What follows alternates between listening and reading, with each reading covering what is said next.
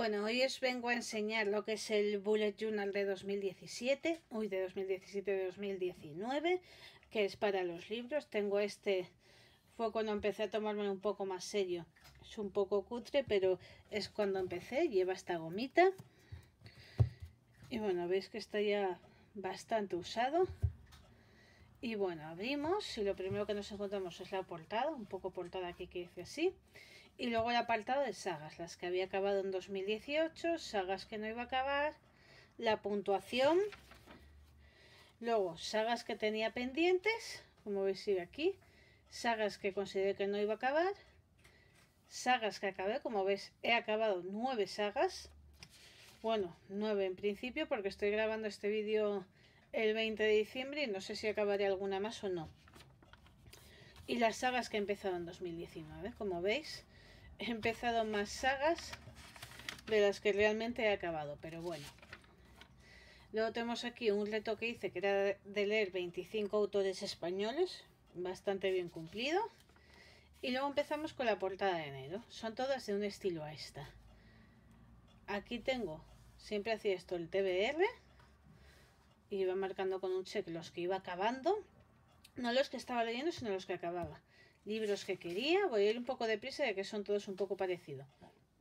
Los libros que entraron en mis estanterías, que aquí tuve que seguir porque entraron 13.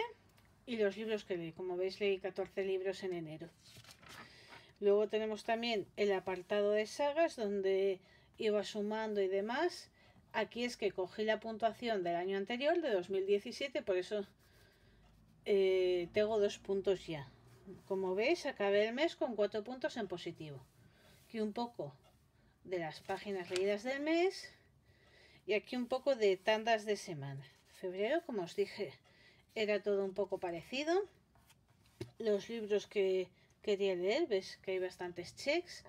Los libros que quería. Si veis en alguno que lo tengo así tachado, es porque conseguí el libro ya sea posteriormente los libros que entraron, como veis aquí 26 y solo leí 16 en febrero. Aquí veis cómo voy avanzando con las sagas, ya estoy en 16 puntos positivos. Y aquí el tag de las páginas. Lo de las tandas, que intenté probar otro método por así decirlo. Y comenzamos marzo. El TBR, los libros que quiero que os he explicado. Y como ves los libros que han entrado que entraron 27, leí 16 y aquí es que eh, salieron 6 ya que los hice para ventas o para cambios. Lo de las sagas, veis que he acabado con 16, con los mismos que el mes pasado. Y el tracker de las páginas. Un glidazón que quería hacer pero al final no hice. Y lo de las tandas. Y empezamos abril. Aquí veis el TBR los libros que quiero con algunos tachados que ya conseguí. Los libros entrantes que aquí conseguí ya bastante reducir, 23 y leí 16. Y aquí puse una anotación de que estos los vendí. Las sagas había empezado con 16 puntos positivos y acabé con 12. Y el tracker de las páginas. Como veis lo de las tandas, voy un poco deprisa porque muchos son parecidos. La portada de mayo, el TBR, que aquí veis que puse alguno menos y conseguí leer bastantes, los libros que quiero. Y luego aquí los libros entrantes. Aquí veis pasar a mi gato, que siempre tiene que salir de los vídeos. Bueno, los entrantes, que son 15, y los libros que leí, que este mes me logré superar bastante, que era el mes de... Era el mes de mayo, que leí 27 libros. Luego el tema de sagas había empezado con 12 puntos y acabé con 19, con lo cual genial. Y el tackle de las páginas. Junio. El TBR, aquí lo podéis ver, los libros que quiero. Los que entraron a mis estanterías, que fueron 23. Y solo conseguí leer 16 este, este mes, bastante mal voy. Luego el tema de las sagas, que empecé con 19 y acabé con 25 puntos positivos, así que genial, porque quiere decir que he ido avanzando con sagas y el tracker de las páginas. Y empezamos con junio, julio. Aquí el TBR me puse poquitos porque en julio fue el Celsius, los que quería. Aquí los que han entrado se nota que fue el Celsius y que solo leí 8 se nota que fue el Celsius. Las sagas empecé con 25 puntos y acabé con 17 porque empecé dos sagas y el tracker de las páginas. Como veis, se nota que leí mucho menos este mes. Un maratón que quería hacer, que no lo acabé haciendo.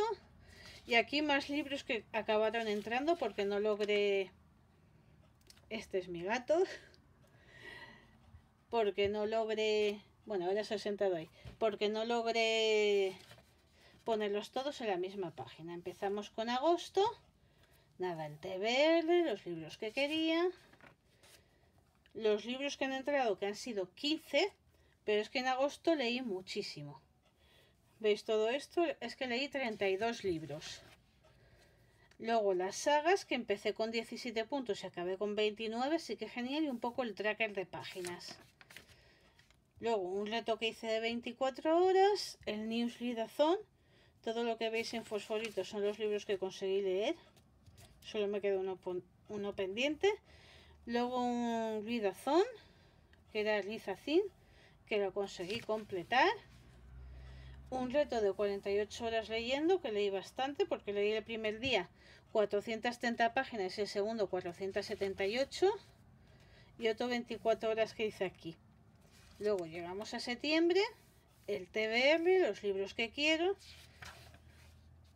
Aquí entraron 16 libros y solo leí 11.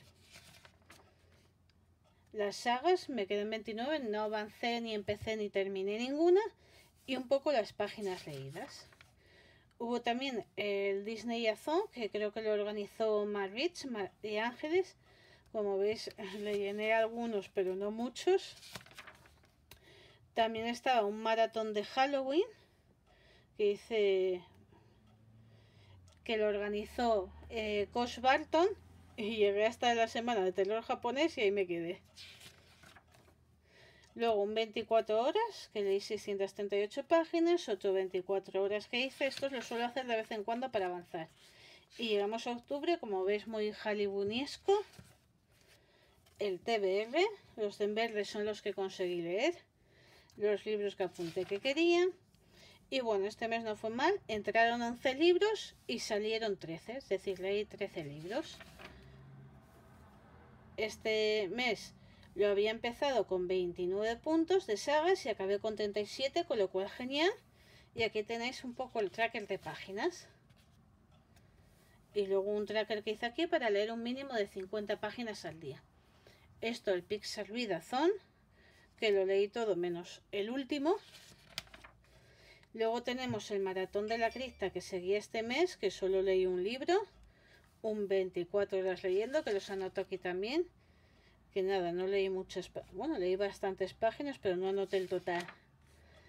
Aquí tenemos un poco lo de las tandas semanales, un maratón de lectura que hice, que aquí no hice el, no puse la fecha, pero bueno, leí bastantes páginas. Y luego vamos con noviembre.